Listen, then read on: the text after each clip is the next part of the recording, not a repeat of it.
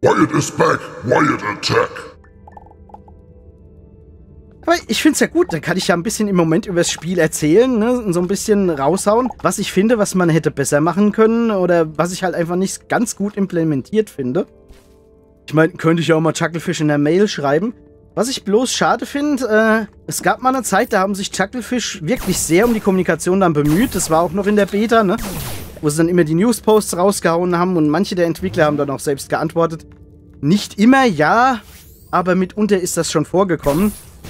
Und selbst da waren ja aber Leute unzufrieden mit der Kommunikation. Aber die letzte Mail, die ich an Chucklefish geschrieben habe, äh, da ging es um andere Plattformen äh, wie Twitch und so weiter, ob sie damit auch äh, einverstanden sind, dass man Videos da hochlädt oder dass man das Spiel streamt. Ich meine, generell bin ich mir da 100% sicher, dass Chucklefish nichts dagegen haben. Aber es wäre halt gut gewesen, eine offizielle Mail zu haben. Und da ist keine gekommen, leider. Klar, die haben auch anderes zu tun, aber schön wäre es gewesen. Und es ist ja jetzt nicht mehr so klar, ich bin ein saukleiner YouTuber, wenn man es jetzt international sieht. Auf deutscher, nationaler Ebene, klar, ich bin kein Kronk, das auf keinen Fall. Aber immerhin, ich habe so eine gewisse Stammzuschauerschaft und äh, bin auch natürlich sehr dankbar dafür. Hätte ich jetzt gar keine Zuschauer, hätte es mich vielleicht damals gerissen, wie YouTube gesagt haben, ja, nee, du bist kein Partner mehr, ne? ja, aber was soll ich noch groß sagen? Ich bin immer noch hier, ne? Und bin auch noch am Weiterentwickeln, ne? äh, ich überlege gerade, wie mache ich das? Das setze ich hier unten ein. Ja. Nee, also äh, danke euch, liebe Zuschauer, dass ihr auch immer noch reinguckt. Auch an die, die zufällig nur mal hier vorbeigucken. Hey, habe ich auch nichts dagegen. Und wenn es euch gefällt, super, danke. Ich freue mich über jede Unterstützung. Im Moment schaue ich ja, ob das dann vielleicht mal was wird als Twitch-Partner. Aber ja, da muss ich dann halt auch wieder gucken, ähm, wie das alles dann äh, so rein rechtlich aussieht und so. Ist im Moment noch Zukunftsmusik. Ich brauche eh noch Follower auf Twitch. Also, äh, falls ihr hier auf YouTube gerne mal reinguckt und vielleicht ab und zu auch mal auf Twitch seid. Oh, Exodum-Hüften. Sind ziemlich breit, ne? Reiterhusen oder was? ähm, ja, also, falls ihr auch ab und zu mal auf Twitch seid, ich würde mich sehr freuen, wenn ihr vielleicht auch auf Twitch einen kleinen Follow da lassen würdet. Ich will keinen dazu zwingen, nee, also das auf jeden Fall nicht. Aber es würde mich halt freuen, ne? Also da wäre ich extrem dankbar, weil ich dann auch mit Twitch das halt mal so ein bisschen, weil ich überhaupt erst mal in Kontakt treten würde, beziehungsweise ich glaube, die treten ja automatisch. Ich weiß nicht, ob das ein automatisiertes System ist oder nicht. Äh, treten die ja äh, mit einem in Kontakt, wenn man dann ja äh, Voraussetzungen erfüllt, sprich an sieben unterschiedlichen Tagen im Monat gestreamt und äh, mindestens acht Stunden im Monat oder sowas, ne? Da müsste ich halt auch mal ein paar kurze In-Between-Streams oder so machen. Ich weiß nicht, da muss ich mir noch was überlegen, damit ich die Zeit auf jeden Fall zusammenkriege. Weil ich will ja dennoch meine ganzen Folgen auch auf YouTube erscheinen lassen. Scheiße, jetzt brennen, ne? Ich meine, wir wussten ja schon immer, Weit ist ein heißer Typ, ne? Aber so heiß, naja. Nee, also ich will auch die YouTube-Sache, beziehungsweise die bearbeiteten Videos, das will ich einfach dabei haben. Da bin ich mir 100% sicher. Denn nur da kann ich auch nachträglich dann noch so wunderschönen Unsinn mit anstellen, ne? Einfach ein paar kleine, bescheuerte Cutscenes einbauen oder ein paar Bildeffekte. Einfach irgendwas Dummes reinschneiden oder so oder eine Erläuterung dazu abliefern, was ich halt live dann mitunter manchmal vergesse. Oder halt diese ganzen Bonbons. Ja, Bonmots, nicht Bonbons, ähm, die mir dann halt noch einfallen im Nachhinein. Ne? Beim, wenn ich dann vor dem Video sitze und das bearbeiten, dann, hey, Moment, das wäre doch lustig. Oder, hey, Moment, das hast du gerade eben ziemlich blöd erklärt oder so, ne? Das ist halt einfach mein Ding und das will ich unbedingt weiter dabei haben. Für mich persönlich. Ich hoffe, ihr habt damit auch ein bisschen Spaß. Könnt ihr ja in die Kommentare schreiben. Ah, da ist ein Fossil. Da müssen wir erst hier dieses. In Zukunft wird es ein Fossil sein, wegkriegen, ja. Da, wo der Weit hinhaut, da bleibt nicht viel übrig, ne? Hallo da oben. Ähm. Ah, boah, das war knapp. Das kann aber auch in einem Winkel schießen, wie Ziegen eine Wand hochlaufen können, ne? Ziegen können ja fast senkrechte Wände hochgehen, weil die Hufe ja irgendwie so eine Struktur haben, dass sich da die kleinsten Sachen ineinander verkeilen. Das ist ja dann fast so ähnlich äh, wie bei Fliegen und Spinnen, oder? Oder sehe ich das falsch? Oder denken wir an einen Klettverschluss hier? ist einfach zu hart, was manche Ziegen können. Also ich glaube, wenn ich als Mensch da an so einer Wand stehen würde, ich würde anfangen zu kotzen, weil ich wüsste, oh Gott, gleich falle ich runter, ne? Aber die Ziege so, ja, ist ja nichts anderes wie das, was ich eh schon die ganze Zeit mache, ne? Wände hochlaufen, ja. Warum kann das die Ziege im Goat Simulator dann eigentlich nicht? Das sind spezielle Ziegen. Also, wie ist das so? Ich weiß nicht. Weiß das jemand von euch, ob das nur spezielle Ziegenarten sind, die so gut klettern können? Das wäre mal interessant. Die südandenische Kletterziege. Ähm, so. Gott, wir, wir haben ja schon fünf Pinsel dann jetzt verbraucht, wenn wir hier fertig sind. Wow. Ich fand's auch komisch, äh, vorhin, als ich die erste Pause gemacht habe zum Ablegen, ne, war auch schon eine Stunde rum und im Moment, äh, die Zeit vergeht wieder so rasend schnell für mich. Also ich habe davon gar nichts bemerkt. Ich glaube, das war schlecht, das jetzt so rauszuhauen. Ja, ja, ich komme nicht mehr hin. Guck, jetzt habe ich nämlich nur noch eins und, ja. Weil hier geht's dann kaputt. Ja, komm, das, da war eh nichts mehr zu machen.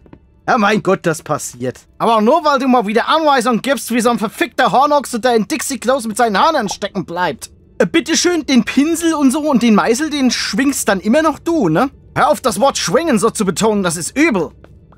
Ach, wie war das? Für irgendwas brauchte man doch auch die Core-Fragments wieder. Ich hab's bloß vergessen, für was. War das nicht auch für irgendein Mac-Upgrade? Mac-Upgrade ist eigentlich ein gutes Stichwort. Ich werde, glaube ich, gleich mal wieder nach oben reisen. Werde dann mal gucken, ob unsere Tiere schon geschlüpft sind. Wahrscheinlich sind sie das. Dann können wir sie vielleicht auch schon einmal abernten. Das klingt jetzt komisch, aber ihr wisst, wie ich es meine, ne?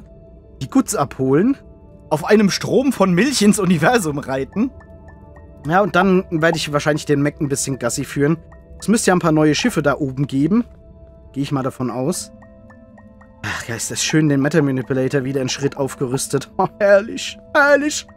Wir können bauen wie ein Bulldozer. Ein Bulldozer baut nicht, der dotzt. Ja, stimmt. Der walzt platt, ne? Ich meine, muss man ja auch, wenn man hier äh, so Straßen bauen will und so, aber weit will doch keine Straßen bauen. Richtig. Wenn, dann baue ich hier nur so einen Unterstand für den Pony Express. Äh, aber Pony Express ist für interstellaren Briefverkehr ist das nicht so geeignet. Hey, wenn du ein Roboterpferd hast, schon. Gar nicht mal so dumm war jetzt. So ein Weltraumroboterpferd, ne, mit Düse hinten unterm Schwanz. Das könnte dann auch Weltraumkutschen ziehen. Oh, oh, oh, oh, oh. Ein Diamant, der muss mit. Es ist zwar nur einer, aber es ist ein Diamant und Gold hängt auch gleich noch mit dabei. Gut. So, und das Gold hier im Hintergrund nehmen wir auch noch mit. Das, sehe ich da etwa noch zwei Diamanten da drüben? Ja, cool. Das dauert zwar ein bisschen, bis wir hier durch den Blaststone durch sind. Aber ja, ja komm, aber wir haben ja wenigstens den Meta Manipulator weit genug aufgerüstet, dass das jetzt nicht allzu weh tut. Warum muss ich spontan dran denken? Wie der Massaker-Dommy, ne? Wie der mich damals dann immer so freundlich dazu überredet hat, komm, lass uns was bei Minecraft bauen. Komm, wir bauen was bei Minecraft. Das erinnert mich dran, dass ich irgendwann auch mal den Server upgraden wollte, ne? Also immer wieder auf die neueste Version und so. Aber das ist immer so ein Gefrickel, bis alles läuft und dann alle Plugins wieder funktionieren. Und manche Plugins gibt's dann nicht mehr und so. Und dann hast du es gerade wieder abgedatet und dann kommt Microsoft mit der nächsten Version, ne? Weil ähm, Minecraft ist ja jetzt Microsoft, ne? Für 2, irgendwas Billionen gekauft. Also der Notch, der muss nie wieder. Da müssen wahrscheinlich die nächsten 20 Generationen müssen nie wieder was arbeiten in ihrem Leben, ne? 20 Toiletten im Haus, ne? Die können jeden Tag mehrfach scheißen gehen, ohne ein Klo zweimal zu sehen. Ich meine, ähm, ich würde ja vielleicht dann auch sowas ähnliches machen, ähm, wie ich es ja früher schon mal gesagt habe. Äh, wenn ich jetzt ultra reich wäre oder so, ne?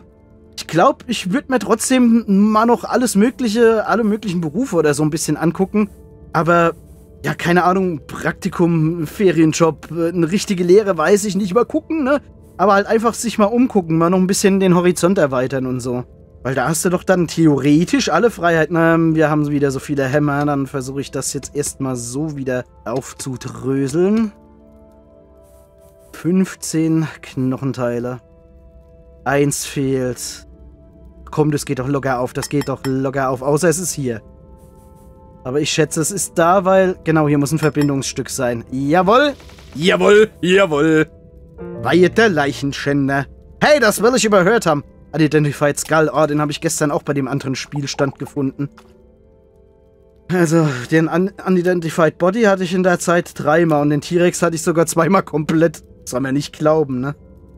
Okay, ich will ja ein bisschen weiter nach oben kommen. Schieß mal das Äffchen da ab. Wie hat das... Wie hat mich das über die Entfernung gesehen? Da ist bestimmt dieser blöde Vielmann dran schuld. Aber zu blöd, hier hochzuhüpfen, ne? Ja, da waren die Augen besser wie das Gehirn oder so, ne? Ist, glaube ich, beim Byte bestimmt auch so. Heute battlest du aber am einen in die Fresse, ne? Äh, okay. Also, auf nach oben. Vielleicht finden wir ja unterwegs noch irgendein Fossil. Und damit meine ich nicht die Oper aus der Rentnerwohneinheit. Denn Pinsel haben wir noch ein paar dabei. Oh. Oh. Vielleicht sind da wieder Diamanten herin. Oh, Nano-Rap Bandage ist sehr gut. Können wir später sehr gut gebrauchen zum Heilen. Ja, komm. eine Nylon-Gitarre. Oh, ich mag das eigentlich nicht, wenn. Das ist halt so eine klassische Gitarre, ne? Aber Nylon-Seiten, oh, ich finde sie schrecklich. Die silberumwickelten Nylon-Seiten, die gehen. Die gehen. Aber ansonsten, ich, ich brauche da was Richtiges. Ich brauche da äh, so dieses äh, Nickel-Plated Steel oder sowas, ne? Und ja, Bronze umwickeltes Zeug. Weißt du, für mich gehört da ein richtiges Metall dran, ne? Und nicht Nylon. Ich mag den kräftigen, durchsetzungsfähigen Sound. Ich meine, äh, es liegt aber auch an meinen Anforderungen, muss ich sagen, weil äh, ich spiele ja meistens ähm, mit meiner Gitarrenmusik, ne? Äh, da spiele ich ja meistens mit nicht mehr als zwei anderen Gitarristen, ne? Und ähm, da ist es okay, wenn man halt so was Durchsetzungsfähiges hat, ne? Jetzt für so ein Orchester würde ich sagen, okay, ist für die Soundgestaltung und so weiter, ist vielleicht eine Nylon-Gitarre wirklich von Vorteil. Behaupte ich jetzt mal durch das, was ich halt so von ein bisschen von Tontechnik und so weiß, ne? Oder zu wissen glaube, ne? Bekanntlicherweise lernt man ja da auch nie aus. Aber so halt, ähm, klar, ich bin halt so der typische Mettler und so ein bisschen äh, Folk-Rock-Hörer und so, ne? Und da ist es halt gut, wenn du einen durchsetzungsfähigen Sound hast, ne? Der auch mit den anderen Instrumenten mithalten kann und so, ne? Oder der auch vielleicht allgemein ein bisschen hervorsticht. Äh, ich meine, hast du schon mal Metal gehört, wo die Gitarre total im Hintergrund ist? Lässt sich bestimmt auch irgendwie machen, aber ja. Oh Mann, wie war das? Man verliert in der Challenge Store nichts mehr, wenn man sie nicht packt, ne? Außer das Gold, wenn man dann oben wieder beim Raumschiff erscheint. Na gut, versuchen wir es mal. Vielleicht wird's ja was, ne? Vielleicht kriegen wir auch die leichteste Herausforderung aller Zeiten. Könnte ja auch sein. Okay. Ah, das kriege ich hin, das kriege ich hin. Die kenne ich. Ich kenne dem. So, Entschuldigung, ich habe mir die Nase geputzt on stream. Schrecklich, ne? Okay. Immer schön mit Timing. Nicht wie die alte Fassnacht. Jawohl. Und immer, ja, nach einem Sprung abwarten, weil das Timing ist halt hier wirklich so gemacht, dass du da nicht durchgehend durchrennen oder springen kannst. Das kommt halt immer gleich schnell genug wieder hier runter. Äh, hier ist es gut, wenn man den Ball hat, dann kriegt man hier Scheiße, nämlich die Bonusbelohnung. Ja, Scheiße kriegt man auch, also oft genug ist es Scheiße, die man kriegt, ne? So, nee, aber dann kommt man hier dran, ne? 200 Pixel, ja, okay. Ich meine, im Moment brauche ich sie ja wieder. Ich brauche ja dann eine Batterie, ne? Und was, was war es noch, was ich brauchte? Noch neun weitere Silicon Boards, ne? Ja, wie war das? Ich wollte den Mac bemühen, wenn ich hier raus bin, ne? So, hier ist Timing jetzt ein bisschen anders. Huh, da habe ich gerade noch abbremsen können. Ah, Feuer ist halt so ein Ding, ne? Feuer tut Aua. Damage over Time und so, ne? Das kann einem zum Verhängnis werden, wenn man hier nicht gut geheilt ist und so und ja. Okay, das hier ist auch so eine Timing-Sache, aber hier mit dem Multi-Jump eigentlich kein allzu großes Problem. Zip, zip, zip, zip.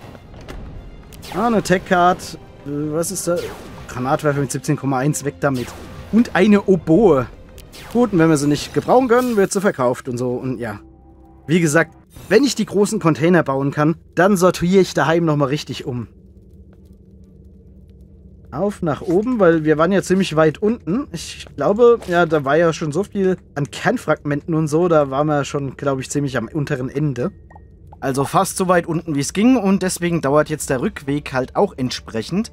Aber das ist wohl der leichteste Teil. Guck mal, noch ein Fossil, das haben wir bestimmt... Das haben wir schon gescannt? Echt jetzt? Das sah so selten aus. Äh, ja, es sah so selten aus. Es kam mir auf jeden Fall nicht so bekannt vor. Also nicht für den Wyatt, ne? Okay, bitte hier nochmal die vier Dura-Steels. Danke. Brauchen wir für die nächste Rüstung. Da haben wir doch jetzt auch einiges dabei, ne? Wird wirklich Zeit, dass wir zurückkommen. 225. Geil, Omat. Das könnte reichen. Natürlich nicht für die späteren Mac-Upgrades. Aber für die nächste Rüstung und so. Und das Tisch-Upgrade vor allem, ne? Ach, guck mal, wenn wir schon mal da sind, guck noch hier rüber. Okay, nichts von Interesse zu sehen. Zip, zip, zip. Ah, ich muss wieder auf den normalen Double Jump zurücksetzen. Der ist halt doch ein bisschen bequemer. Hat der Säure, äh, der Säure, der Seuche schon recht. So. Bürst, Bürst. Komm, weg mit dem Gravil. Gravil brauchen wir nicht. Wir sind hier schließlich auch nicht bei Loriot mit seiner Melusine. Ähm, na. Ja, das war gestern äh, Joghurt Spaceballs.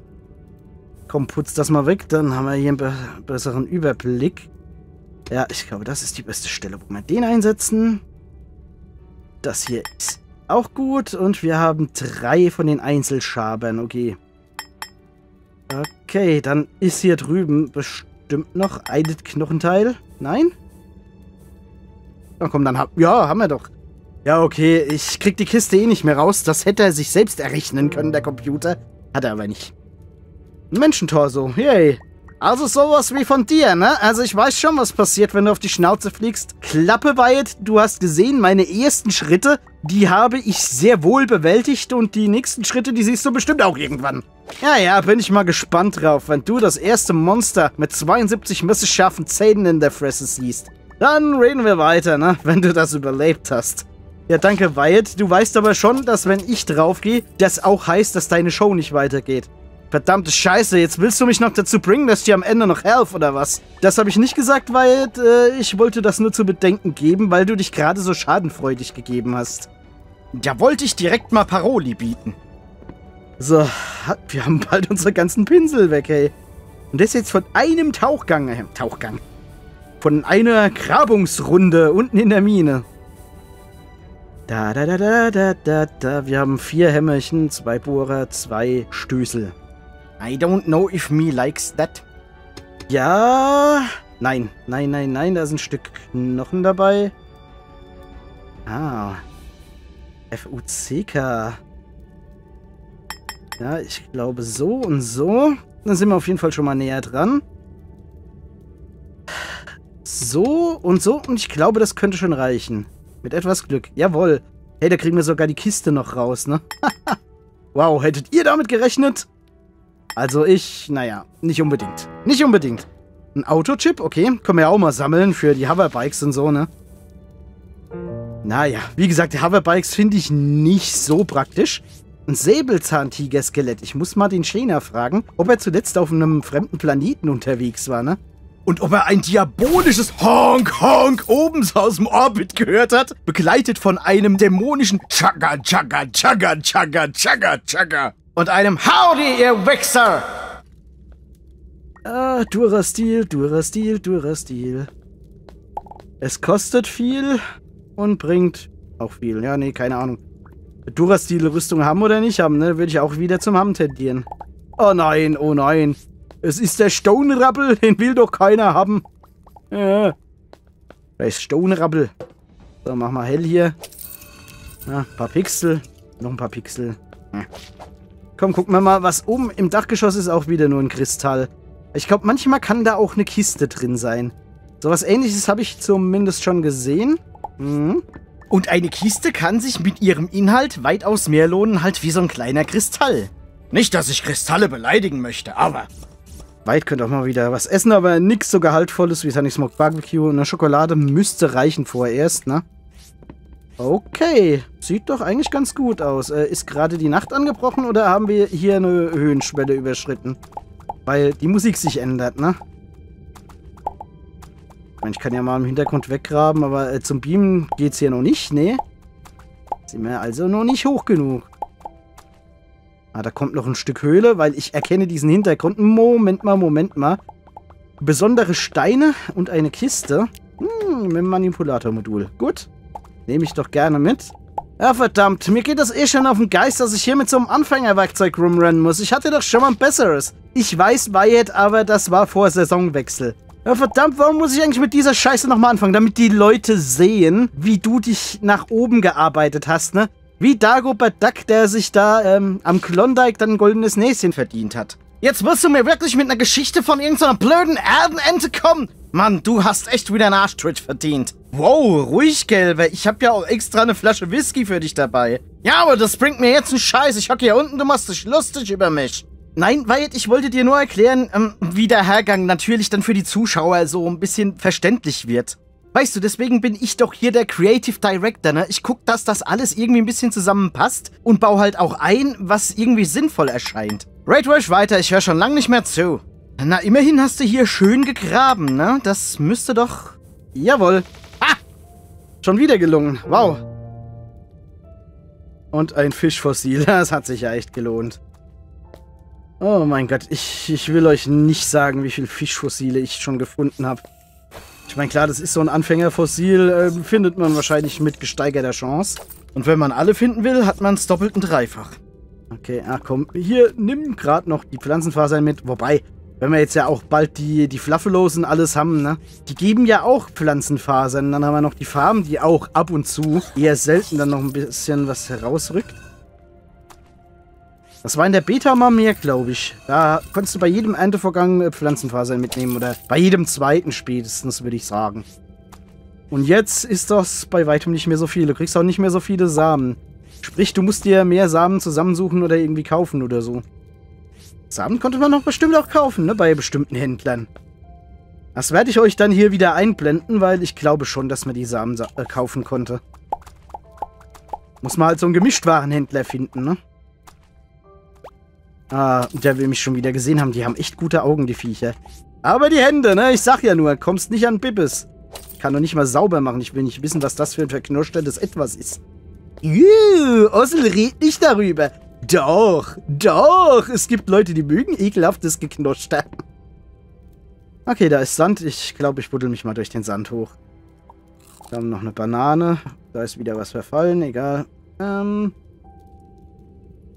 Ah, gut, gut. Komm, hier noch die Schokolade. Das hält wieder vor eine Weile. So. Äh, will ich den Kupfer mitnehmen? Dann nehme ich den Kupfer mit. Zip. Und ich will da hoch in Richtung dieser Truhe. Ach, ich verziehe die Maus. Warum verziehe ich die Maus? Muss ich mir erst wieder was spritzen, ne? Na, habe ich mir selbst schon mal was gespritzt? Ja, tatsächlich. Ich brauchte mal äh, irgendwie Bauchspritzen. Für nach irgendeiner OP war das, glaube ich. Damit da alles gut heilt, ne? Ah, ich glaube, das war nach der Blinddarm-OP. Ich bin mir nicht ganz sicher, aber ich glaube, das war's. Gibt man da Bauchspritzen? Ich weiß es nicht. So einfach, ne, in den Panz voll rein, so in den obersten Bereich. Und ja. Meistens war das aber damals meine Mutter, die mir die Spritzen gegeben hat. Sie mag es, wenn man Sachen mit Nadeln in die obere Hautschicht jagt. da muss ich sagen, in dem Panz, äh, ehrlich gesagt, da spürst du kaum was. Also ich habe eigentlich so gut wie gar nichts gespürt meistens. Ich meine, du merkst schon, natürlich, da, da ist was, aber es hat noch nicht mal irgendwie wehgetan. Also, du würdest ja denken, das wäre vielleicht erstmal so ein brennender Schmerz oder so, ne? Aber hier in die Bauchdecke, also ich muss sagen, das war irgendwie so ein bisschen wie in den Arsch, ne? Da merke ich auch nichts, weil Sitzfleisch und so, ne?